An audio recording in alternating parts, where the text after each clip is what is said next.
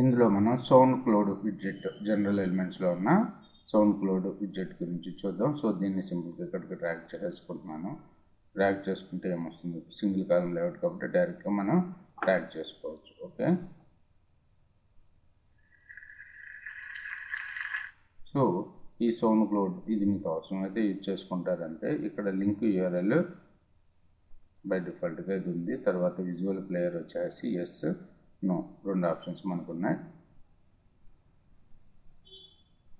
తర్వాత auto play auto play అనేది కావాలనుకుంటే ఉంచుకుంటారు. తర్వాత బై బటన్ బై బటన్ కావాలనుకుంటే బై బటన్ మనం ఉంచుకోవచ్చు లేకపోతే తీసేయచ్చు. తర్వాత like button download download button download button show చేస్తున్నాను నేను. అప్డేట్. ఒకసారి చూడండి ఇది ఏ విధంగా కనపడుతుంది అనేది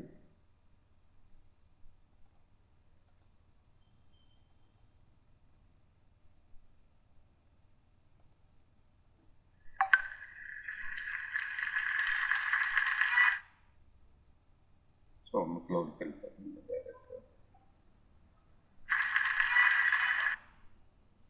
ఓకే సో తర్వాత మనకి ఇంకా ఎలిమెంట్ చూసుకున్నట్టయితే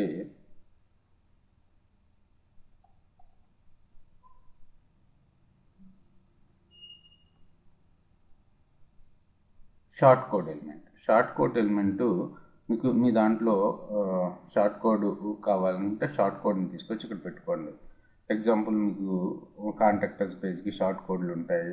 లేకపోతే రిజిస్ట్రేషన్ మ్యాజిక్కి షార్ట్ కోడ్స్ ఉంటాయి లేకపోతే మీరు ఏదైనా ఈ కామర్స్ కోడ్ సైట్ని రన్ చేసేటప్పుడు అందులో మీరు యూజ్ చేసుకున్న ప్లగిన్స్కి ఒక్కోసారి షార్ట్ కోడ్ కూడా ఇస్తూ ఉంటారు. ఆ షార్ట్ కోడ్ని తీసుకొచ్చి ఇక్కడ పేస్ట్ చేసుకుంటే మనకు కావాల్సిన ఇప్పుడు కాంటాక్టర్స్ ఇదే పేజ్కి కాంటాక్టర్స్ పేజ్ని కింద పెడదాం అనుకున్నాం అనుకో కాంటాక్టర్స్కి సంబంధించిన ప్లగ్గిన్స్ మీరు చేసుకున్నప్పుడు దానికి షార్ట్ కోడ్ వస్తుంది. ఆ షార్ట్ కోడ్ తీసుకొచ్చి మీరు ఇక్కడ ప్లేస్ చేసుకుంటే సరిపోతుంది. మీరు ఎక్కడైతే పెట్టాలనుకుంటున్నారో అక్కడ.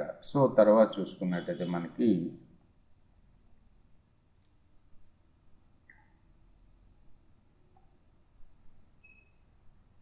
హెచ్టిఎంఎల్ హెచ్టిఎంఎల్ మీరు కస్టమ్ హెచ్టిఎంఎల్ ఏదైనా డిజైన్ చేసుకోవాలి అనుకుంటే ఇక్కడ కస్టమ్ హెచ్ఎంఎల్ హెచ్టిఎంఎల్ కోడ్ని మీరు పెట్టుకోవచ్చు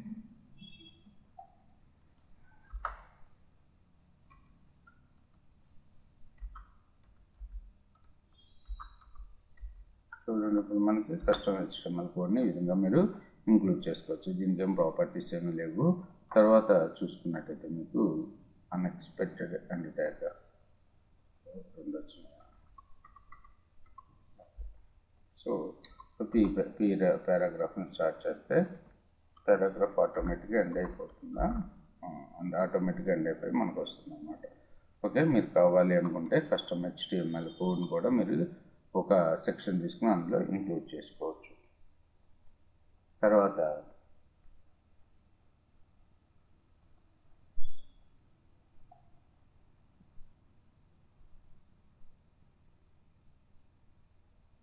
HTML anchor menu anchor sidebar ఇవి నెక్స్ట్ వీడియోలో చూద్దాం. Read more read more tag read more అనే ఎలిమెంట్ ఆర్ విడ్జెట్ మనకి ఈ బ్లాగ్కి సపోర్ట్ చేయాలి ఒకసారి చూడండి ఇక్కడ. So note this widget only effects the themes that use the content in archive pages అని చెప్పి చెప్తున్నాడు. సో దీనికైతే మనకు సపోర్ట్ చేయట్లేదు ఈ థీమ్కి అయితే సో ఇంకో థీమ్ చూసుకున్నప్పుడు దీని గురించి ఎక్స్ప్లెయిన్ చేద్దాము. నెక్స్ట్ వీడియోలో మనం యాంకర్ ఎలిమెంట్ గురించి అలాగే sorry anchor element or widget గురించి జనరల్ ఎలిమెంట్స్లో ఉన్న తర్వాత వచ్చేసి side bar side bar widget గురించి చూద్దాం. ఈ వీడియోలోనే చెప్పేస్తాను. యాంకర్ మెనూ యాంకర్స్ గురించి సైడ్ బార్ గురించి. ఇప్పుడు చూడండి మీరు సింగిల్ పేజ్ అప్లికేషన్స్ ఏదైనా యూజ్ చేసుకునేటప్పుడు ఇక్కడ కాంటాక్టర్స్ అని చెప్పి కనపడుతుంది. కాంటాక్టర్స్ మీద క్లిక్ చేస్తే మీరు ఎక్కడైతే కాంటాక్టర్స్ పేజీ కోడ్ కంటెంట్ ఉందో అక్కడికి వెళ్ళిపోతూ ఉంటారు. ఇక్కడ ఎగ్జాంపుల్ చూడండి ఇక్కడ మెనూ బార్ దగ్గర నేను హెచ్టి సారీ ఏమని పెడదామంటే పైథాన్ కంటెంట్ అని చెప్పి పెడదాం. పైథాన్ కంటెంట్ మీద క్లిక్ చేసిన సేమ్ పేజ్లో మనం ఆ పైథాన్ కంటెంట్ ఉన్న చోటుకు వెళ్ళిపోతా వాళ్ళనమాట. ఒక పని చేద్దాం ముందు మనం ఏం చేద్దాము అంటే ఇక్కడ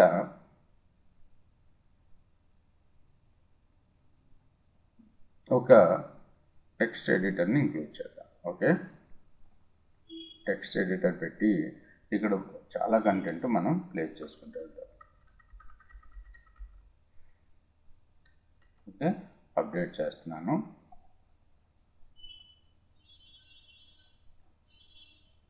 సో ఒకసారి వాచ్ చేయండి.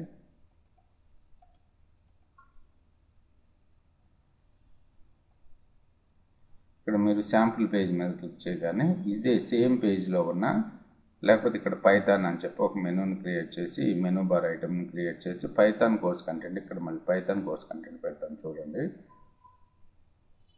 సో చాలా సైట్లో మీరు చూస్తారు సింగిల్ పేజ్ అప్లికేషన్స్లో. సో కాంటాక్టర్స్ అయితే చాలా బాగుంటుంది. So contact us.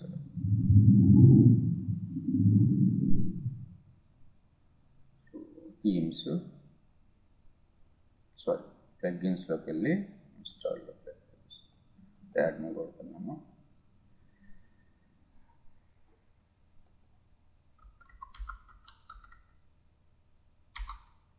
Contact form plugin install చేస్తారు కాంటాక్ట్ ఫామ్ సెవెన్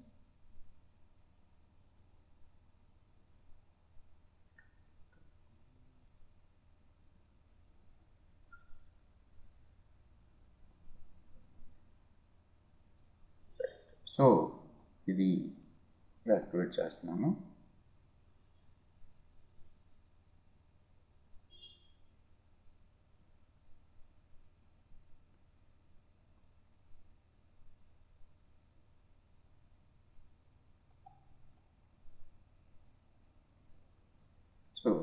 ఇక్కడ ఒక కాంటాక్ట్ ఫామ్ ఉంది కదా.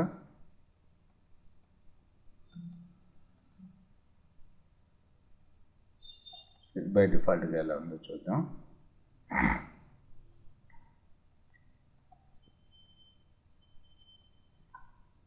నేము ఇవన్నీ కూడా ఉన్నాయి. ఓకే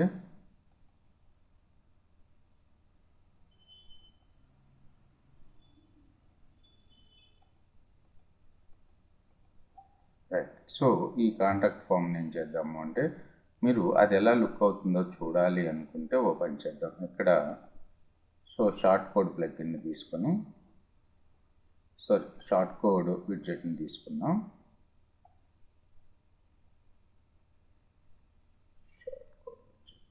సో ఆ షార్ట్ కోడ్ విడ్జెట్లో మనం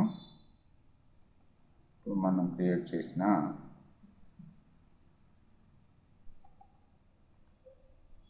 బై డిఫాల్ట్గా వచ్చిన షార్ట్ కోడ్ని కాపీ చేసుకో కాపీ చేసుకుని ఇక్కడ పేస్ట్ చేస్తాం.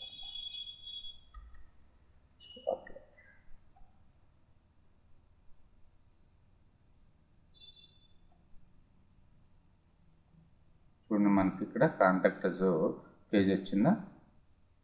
So contact us widget add అయింది కదా? సో కావాలంటే ఒకసారి మీరు సైట్ని చూడండి.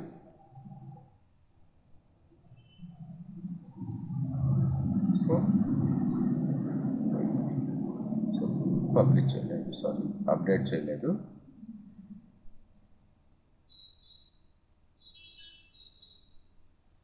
ఇది మన ఫ్రంట్ పేజ్ అనుకున్నాము ఇక్కడ మీరు చూసుకున్నట్టయితే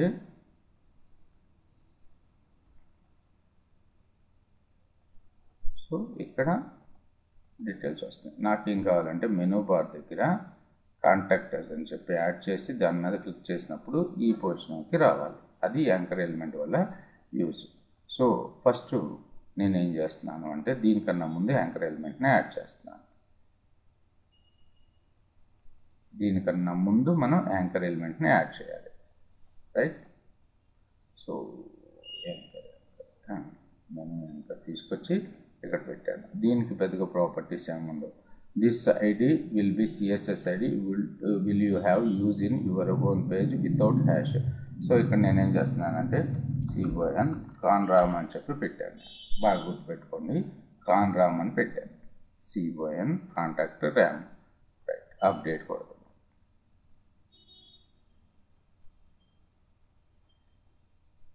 ఇక్కడ మెనూ ఐటమ్స్ ఇప్పుడు మనం మెనూ ఐటమ్స్ని యాడ్ చేద్దాం. So menu bar. మెనూస్లో ఒక కొత్త కస్టమ్ లింక్ని తీసుకుని ఇక్కడ కాంటాక్ట్ సిఓఎన్ కాంటాక్ట్ అస్ అని పెడదాం. ఇక్కడ hash hash C O N R A N so add to menu right? So save menu. ఒకసారి ఫ్రంట్ పేజ్కి వెళ్దాము.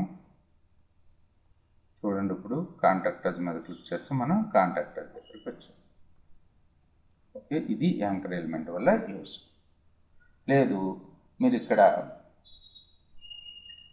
ఇక్కడ ఏం చేశారు అంటే ఒక బటన్ పెట్టుకుని రిజిస్టర్ నవ్ అని పెట్టారు. రిజిస్టర్ నవ్ అని చెప్పారు. రిజిస్టర్ నవ్ అని మీద బటన్ మీద క్లిక్ చేయగానే మీకు ఇక్కడ రిజిస్ట్రేషన్ ఫామ్ ఉంది. ఆ రిజిస్ట్రేషన్ ఫామ్ దగ్గరికి మీరు రావాలి. సో దాని పర్పస్ ఏం చేయొచ్చో చూడండి సో ఫస్ట్ మనం ఒక బటన్ని యాడ్ చేద్దాం అన్నిటికన్నా బయట పైన. యాడ్ చేద్దామా? ఒక సెక్షన్ తీసుకుందాం. సో దీనికన్నా ముందు ఒక సెక్షన్ యాడ్ చేయాలంటే సింపుల్గా ఇక్కడికి వెళ్ళి ప్లస్ బటన్ మీద క్లిక్ చేశారు. ఇక్కడ ఒక బటన్ని తీసుకుందాం.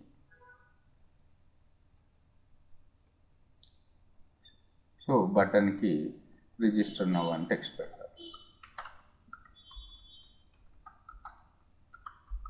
ఓకే? రిజిస్టర్ నవ్ అని పెట్టాము. ఇక్కడ దీన్ని సెంటర్కి అసైన్ చేసుకున్నాం. తర్వాత బటన్ ఐడి ఇవన్నీ కూడా మనకు ఉన్నాయి. తర్వాత సైజ్ని టెక్స్ట్ చేయడం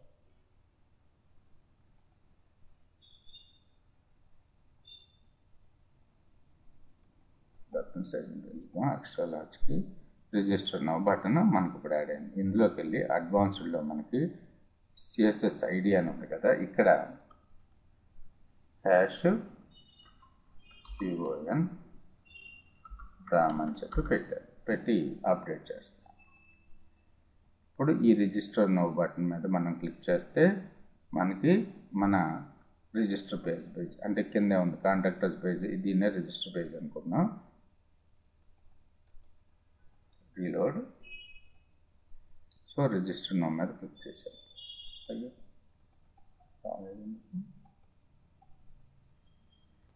సారీ ఇక్కడ మనం ఇక్కడికి వెళ్ళి మనం చేంజ్ చేయకూడదు ఇక్కడ సిఓఎన్ ఆర్ఏఎం కాన్రామ్ వన్ అని చెప్పి పెట్టారు. ఓకే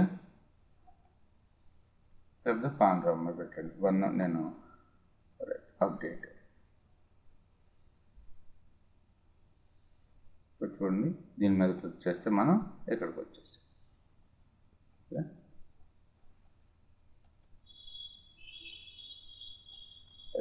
సో మీరు దీన్ని చూసుకున్నట్టయితే ఇప్పుడు డజ్ మీద వచ్చాము. అలాగే రిజిస్టర్ మీద క్లిక్ చేసిన రిజిస్టర్స్ పేజ్కి మనం సేమ్ సింగిల్ పేజ్లోనే వెళ్ళగలుగుతున్నాం. ఇది యాంకర్ ఎలిమెంట్ వల్ల యూజ్ ఓకే? తర్వాత చూసుకున్నట్టయితే మనకి సైడ్ బార్ సైడ్ బార్ గురించి చూద్దాం.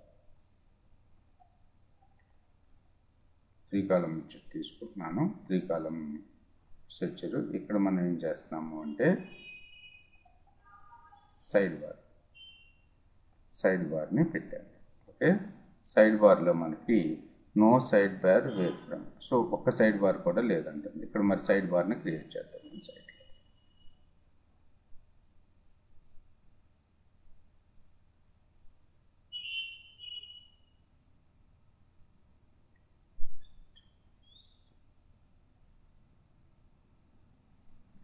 విడ్జెట్ ఏరియా లేదు ఇదే ప్రాబ్లం ఈ థీమ్కి విడ్జెట్ ఏరియా కూడా లేదు సారీ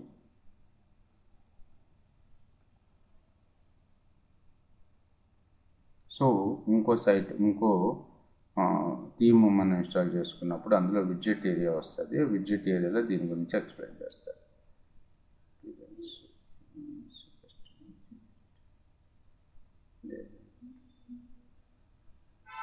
సో ఈ థీమ్కి విడ్జెట్ సపోర్ట్ చేయట్లేదు.